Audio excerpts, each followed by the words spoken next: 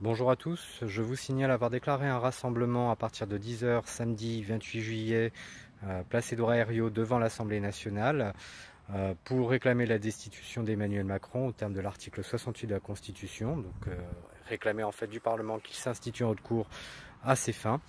Et euh, à l'issue de ce rassemblement qui dure donc jusqu'à jusqu'à 14h, il y a un cortège de déclarés jusqu'à la maison de la radio, donc euh, là où il y a le groupe Radio France, France Inter, France Info, France Culture et RFI, etc., afin que ce, ce message, cette volonté de destitution, euh, soit parfaitement entendu et que nous puissions faire entendre d'autres arguments que l'affaire Benalla d'ailleurs.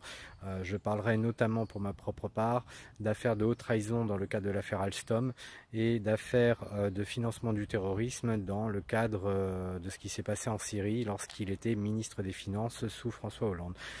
Voilà, nous, savons tous que nous avons des fripouilles depuis longtemps et qui, n'hésitent pas à utiliser ce genre de barbouzerie pour, créer des incidents dans les manifestations. Simplement, nous n'avions pas de preuves. Pour une fois, nous avons des preuves, euh, des charges qui, euh, sont évidentes.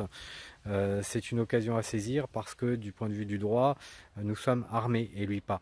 Macron est nu, profitons-en. Bella ciao, bella ciao, bella ciao, ciao, ciao. Stamattina mi sono alzato e ho trovato l'invaso.